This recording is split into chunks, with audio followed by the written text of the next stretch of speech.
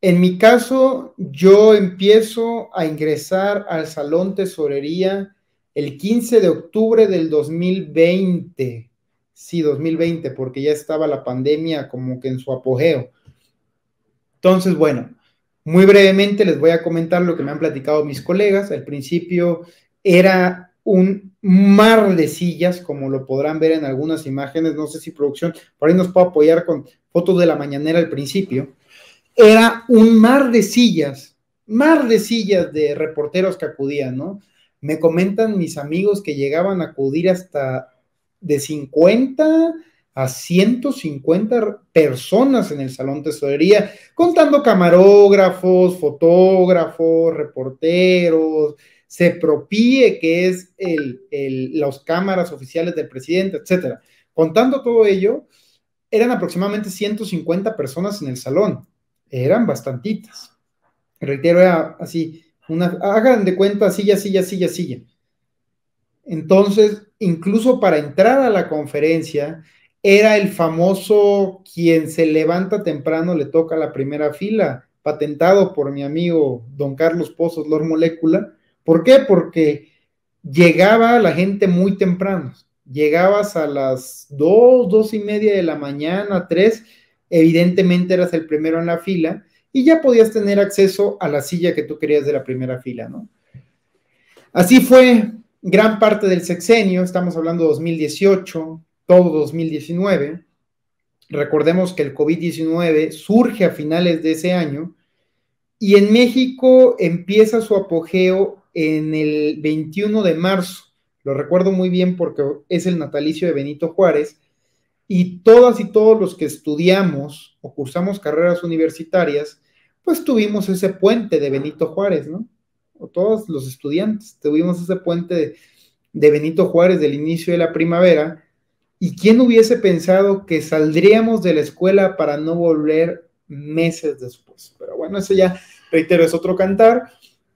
Evidentemente, con la pandemia de COVID-19 se tienen que ir adoptando medidas sanitarias en el salón tesorería, así como lo hizo todo el mundo. ¿eh?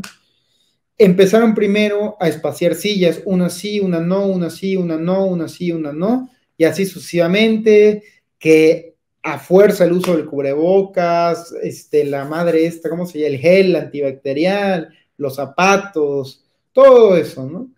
Poco a poco, conforme se fue eh, haciendo más fuerte la pandemia, se fueron aumentando el número de contagios, evidentemente comunicación social tuvo que acatar las medidas de regulación sanitarias, no solo nacionales, sino mundiales, reduciendo el número de personas que asisten a un espacio cerrado. El salón tesorería, si bien es enorme, pero no deja de ser un espacio cerrado.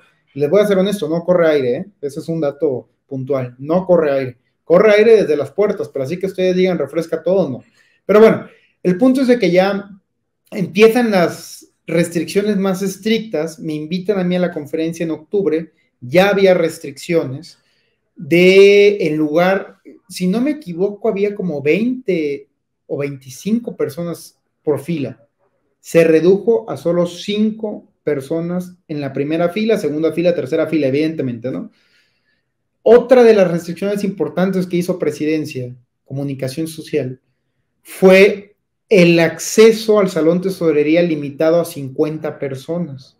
Imaginen ustedes de un salón lleno de gente, solo 50, entre funcionarios periodistas, camarógrafos, fotógrafos, Jesús, Leti, todos los que ahí estábamos, ¿no?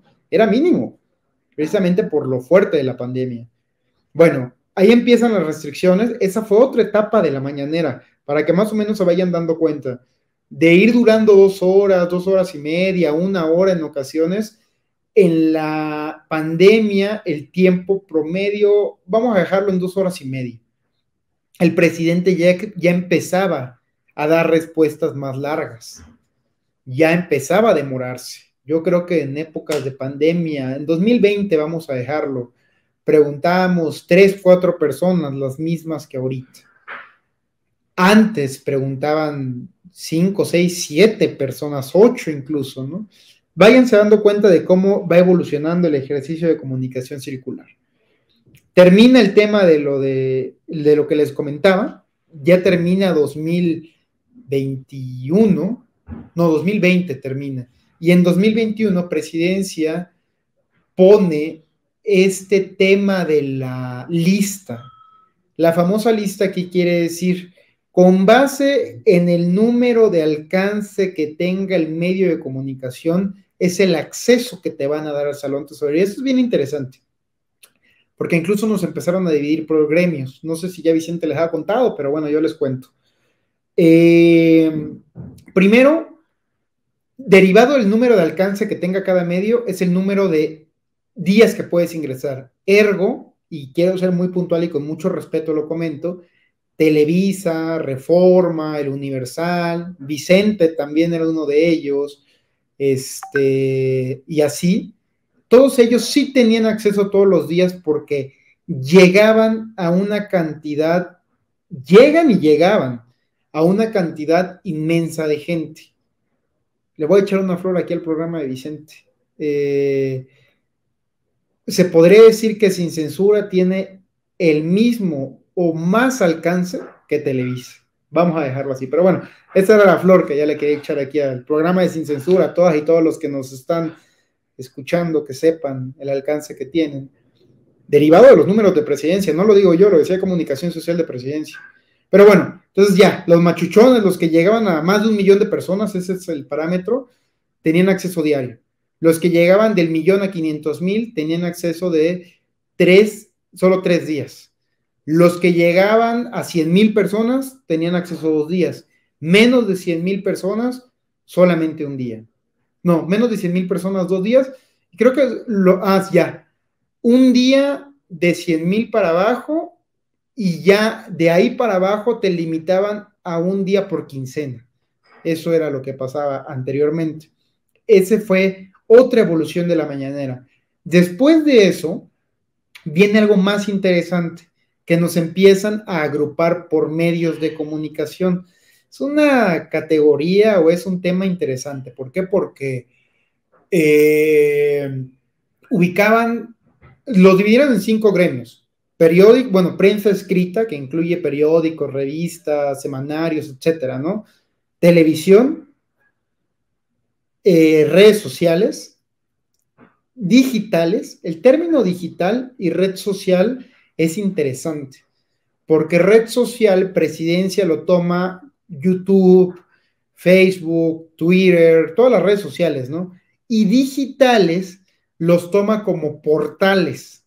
¿Qué quiere decir un portal? Vamos a dejarlo en Animal Político, sin embargo, el de forma, todo ese tipo de portales famosos o de páginas digitales se les, agrupa en el, en el gremio de digitales. Y hay otro rubro que en lo particular siempre se me ha hecho raro, se llama multimedia.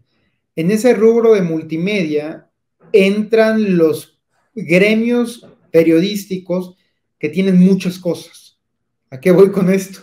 Que tienes periódico, que tienes radio y que tienes así más plataformas, ¿no? ¿Quiénes entran en ese gremio para que tengamos una idea?